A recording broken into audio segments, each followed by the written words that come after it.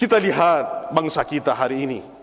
Sudahkah mereka merdeka dari kesyirikan, peribadatan, penyembahan kepada sesuatu selain Allah Subhanahu wa taala? Jangan kita bicarakan orang di luar kita.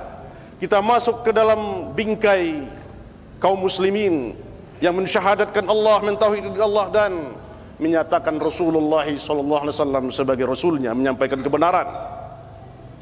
Kaum muslimin hari ini, kaum muslimin di negeri kita masih banyak yang terkungkung dalam kesyirikan, percaya kepada keramat, keramat yang akan bisa mendatangkan mudarat dan manfaat kepada mereka.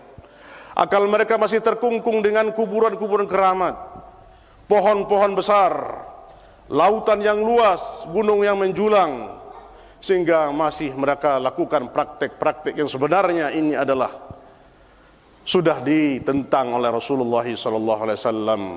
Fathu Makkah 10 tahun hijrahnya Rasulullah sallallahu alaihi wasallam adalah lambang kemerdekaan. Kemerdekaan bagi seluruh umat manusia. Fathu Makkah Kata Allah Subhanahu wa taala, "Wa qul ja'al haqqu wa zahaqal batil, innal batila kana zahuqa." Katakanlah sesungguhnya telah datang kebenaran dan telah lenyaplah kebatilan, sesungguhnya kebatilan itu akan lenyap. 360 patung berhala yang disembah oleh orang Quraisy luluh lantak dihancurkan oleh yang namanya tauhid.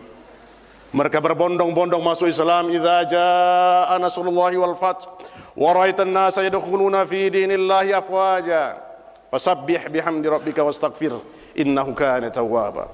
Apabila datang pertolongan Allah dan kamu melihat manusia berbondong-bondong semuanya masuk ke dalam agama Islam, maka memujilah engkau kepada Allah dan minta ampunlah kepada Allah dan mohon ampunlah kepada Allah Subhanahu wa taala. Sesungguhnya Dia Maha Penerima Taubat.